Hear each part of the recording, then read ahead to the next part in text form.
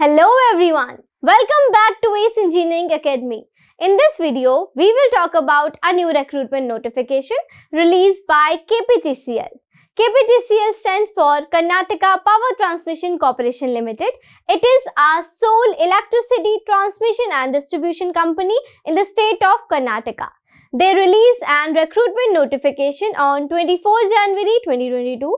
They are going to recruit junior engineers, assistant engineer and junior assistant in the state of Karnataka. This recruitment is going to happen for the Karnataka domicile candidates only. Now let's talk about total number of vacancies. Total number of vacancies are huge that is 1492. This recruitment is going to happen for electrical engineering and civil engineering students. In electrical engineering, for the post of assistant engineer, number of vacancies are 505 and for the post of junior engineer in electrical engineering discipline, number of vacancies are 570. Whereas in civil engineering discipline, for the post of assistant engineer, number of vacancies are 28 and for the post of junior engineer, number of vacancies are 29.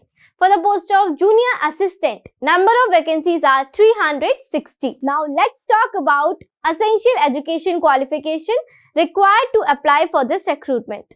You need to have graduation degree in engineering that is BE, BTech or BSc engineering or equivalent in the same discipline in which you are going to apply from any recognized university or institute from India for the post of assistant engineer. Whereas for the post of junior engineer, you need to have 3 years diploma in related trade in the same discipline in which you are going to apply from any recognized university or institute of India. Now let's have a look at age limit of this recruitment. You need to have minimum age of 18 years and maximum age of 35 years. Age relaxations will be provided as per the norms by KPTCL for age relaxations.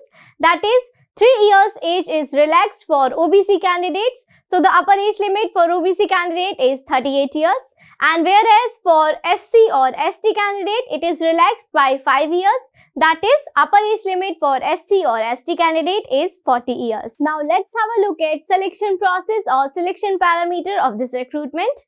Your selection is based on written test followed by interview or document verification. You need to secure at least 35% of marks in as in cutoff. On that basis, you will be segregated for interview. Now let's talk about the syllabus for written examination. For the post of assistant engineer and junior engineer, your written examination is going to be offline OMR based. In your written examination, there will be total 100 questions that will be objective type multiple choice questions in which 75 questions will be there from your concerned education qualification whereas 25 questions will be there from general awareness and aptitude. Time duration of your examination is going to be 2 hours. There will be negative marking of 0.25 for each wrong attempt answer. For the post of assistant engineer, 75 questions will be based on VTU syllabus for BE or BTech in electrical or civil engineering discipline, whereas for junior engineer post, your 75 questions will be based on diploma syllabus for electrical or civil engineering discipline, Department of Technical Education, Government of Karnataka. At the post of assistant engineer and junior engineer, you will be appointed at the above mentioned pay scale. Now let's have a look at how you can apply for this recruitment. Mode of application is online. You have to visit official website of KPTCL to fill an online application form. Application window is open from 7th February 2022 and will remain open till 7th March 2022. There is non-refundable application fees of rupees 600 for unreserved category whereas it is 350 rupees for SC or ST category candidates. That's all about the important highlights given in this recruitment notification. If you want to view the detailed advertisement by KPTCL, you can visit official website of KPTCL. The link is given in our description box. Thanks for watching. If you like the video, please hit the like button and subscribe to our channel. Don't forget to press the bell icon for more updated videos.